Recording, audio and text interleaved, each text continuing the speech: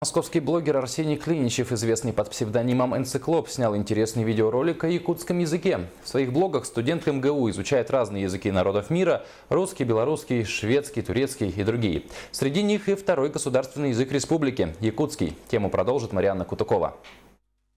Небольшой ролик московского студента о якутском языке, который находится в открытом доступе в Ютубе, сегодня набрал почти 30 тысяч просмотров и множество положительных отзывов. В своем ролике Арсений рассказывает об интересных фактах и правилах чтения якутского языка. На создание этого видео его вдохновила творческая энергия якутов. Я э, учусь вместе с э, человеком из Якутии.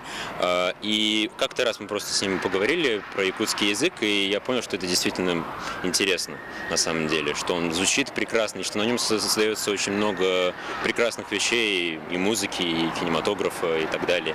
И мне показалось это действительно крутым. Чтобы правильно читать по-якутски, надо знать следующее. Это «ы», как в слове «кюн», это «э», как в слове «эр», это «г», как в слове «багарабын», это «н», как в слове «сангарабын».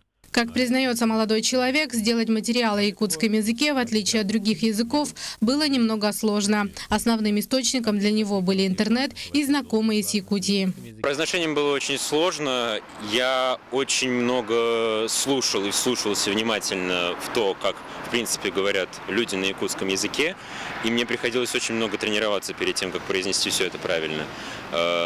Практически не прибегал к помощи носителей за счет того, что уже есть какой-то опыт работы с разными языками, э, заточен слух под это. Наверное, из-за этого мне удалось довольно точно воссоздать произношение. После знакомства с якутским языком и историей народа Саха Арсений теперь мечтает приехать в Якутию. Естественно, я бы хотел очень сильно побывать в Якутии, меня это очень интересует, и особенно я бы хотел глубже узнать традиционную культуру Якутии, которая, как мне кажется, еще очень хорошо сохранилась в отдаленных улусах.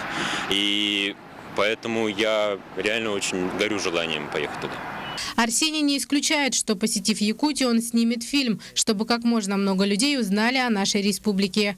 Марьяна Кутукова, Александр Центюк, НВК Саха, Москва.